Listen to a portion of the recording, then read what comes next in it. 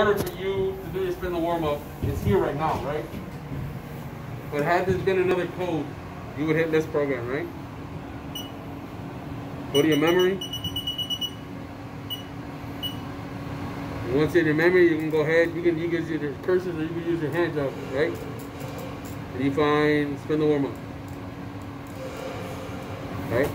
It's already here, and it's telling you here by the A that's on right next to it. It's saying it's an active code. It's already on there. All right. Had it not been though, you go ahead and enter and switch it over over here, right? And then here, memory. Remember when I told you memory was to run your program? You hit memory. Cycle start, and the machine will start to go. And it's gonna run its warm up, all right? Then you want to show them how to transfer file from, from USB to You ready? So when you write your program and you save it on the USB, in order to access USB, you're gonna hit what button, son? Uh, list program. Your list program button, right? Yep.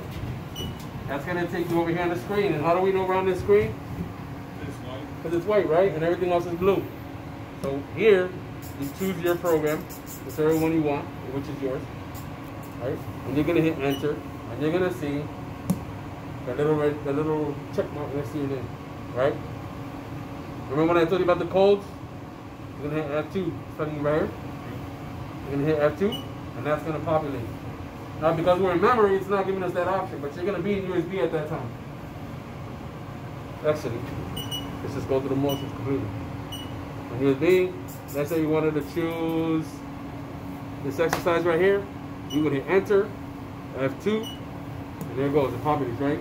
And all we have to do now is hit enter, and it would it would take us from memory, from USB to memory. What, remember when I told you it, it message the property right here and say what? Disk. Dish done. And that's how you know that it transferred over safely. Right?